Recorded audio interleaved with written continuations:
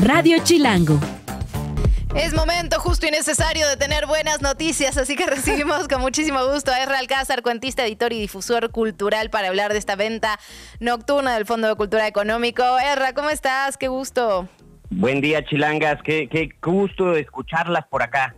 Igualmente, feliz aniversario para ustedes también. Oye, doble felicitación. Nos llevan un este ratito, nos llevan unos añitos. Allá vamos. Ya pronto, ya pronto, 89 años se pasan de volada, ya verán. Ay, no sé, sí, luego le platicamos. Oye, ¿y cómo lo van a festejar? Cuéntanos, nosotras con pan de muerto gracias a que Luciana no tiene respeto por las tradiciones. ¿Ustedes? Mira, el Fondo de Cultura Económica cumple 90 años y alrededor de este cumpleaños se van a hacer un montón de actividades, pero una que es muy tradicional, que se hace cada año, es la gran venta nocturna que se lleva a cabo en la gran mayoría de las librerías del fondo. Sin embargo, pues como nos gusta darle importancia a las decenas, porque tenemos pues 10 deditos en, las manos, ¿no? Este año la venta nocturna pues es como con esteroides. Entonces vamos a llegar a, a 100 librerías que están por todo el país.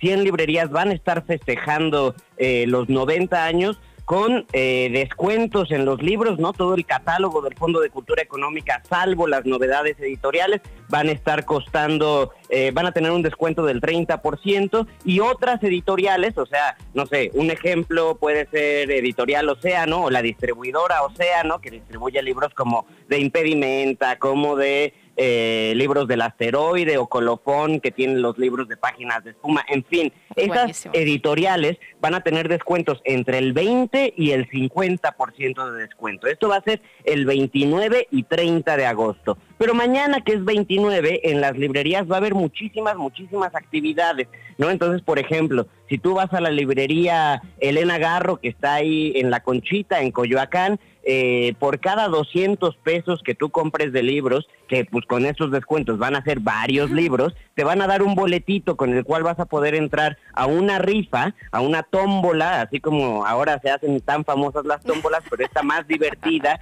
en donde vas a poder sacarte paquetes de libros, en donde te vas a poder llevar un librero que, que estuvieron haciendo los compañeros de mantenimiento del fondo e ilustrado por los ilustradores eh, que trabajan con nosotros en la colección Vientos del Pueblo o también una bicicleta para que pues podamos huir del tráfico de esta ciudad eh, y, hacer un poquito de ejercicio. Hay muchísimas, muchísimas actividades alrededor de estos 90 años, pero mañana y el viernes son la es la venta nocturna. Uy, buenísimo. A ver, horarios a partir de mañana, ya que si voy en la mañana, digamos, dice nocturna, pero yo voy en la mañana porque pues aquí saliendo, ¿verdad? sí. ya tengo los descuentos. Ya hay descuentos, ya puedes ganarte boletitos. Eh, hay librerías, por ejemplo, en donde por su tamaño no se va a poder hacer una tómbola, pero entonces ahí te van a dar un paquete de libros si tuviste suerte, ¿no? Los horarios son muy variados porque muchas librerías, por ejemplo, las tenemos en museos. Ah, ¿no? Entonces, pues el museo cierra a las 6 de la tarde, pues a esa hora cierra la librería.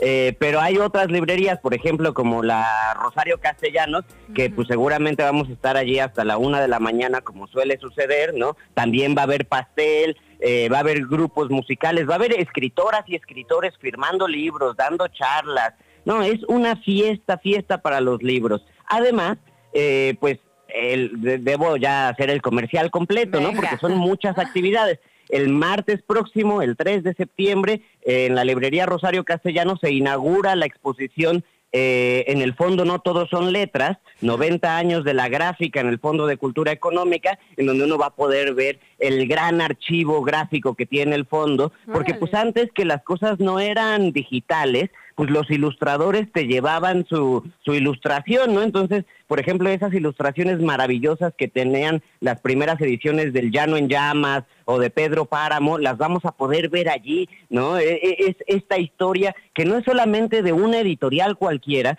sino que es de todas y todos los mexicanos. Bueno, pues yo me voy con muchos apuntes, pocas sorpresas. Luciana que come pan de muerto en agosto, obviamente quiere ir a la venta nocturna en la mañana. Obvio. Ezra, que es un gran ciclista, eh, porque Ezra es un gran ciclista, sí, va se a por la bicicleta. claro, claro, claro. Bueno, hay que conocer a nuestra gente, ¿verdad? Y sobre todo a nuestros autores, querido Ezra, todo esto que nos compartiste tan ampliamente, lo que abrazamos y te felicitamos un montón por esta organización. ¿Hay alguna página, un catálogo, una guía, digamos, para tenerlo como más a la mano? Ajá.